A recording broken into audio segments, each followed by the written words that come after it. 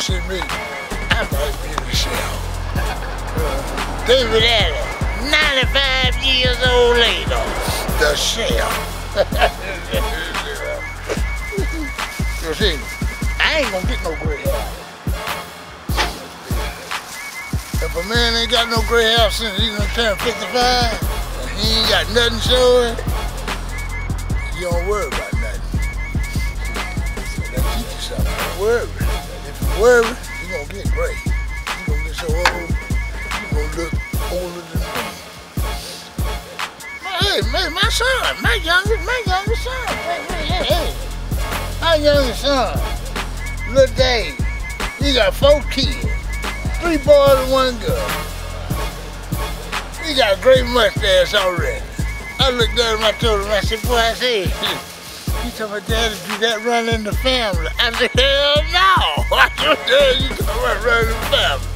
I said, shit, I, said, I know you, man. We done had a DNA. I said, I said, look at me. I ain't got no gray. I said, I said, what you, I said, what you doing? Man, I be so worried all the time. I said, that's your problem. Yeah, you can worry.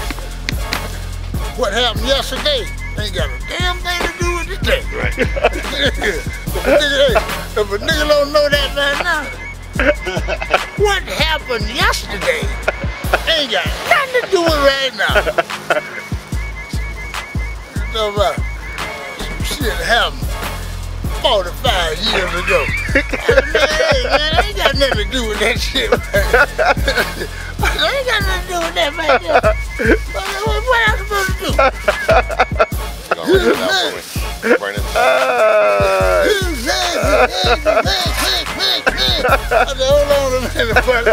Slow down. I said, I said, I want to ask you a question. Were you back there? Yeah, I was back there. I said, look at all that gray hair in your head. I said, that's why you worried, man. You know.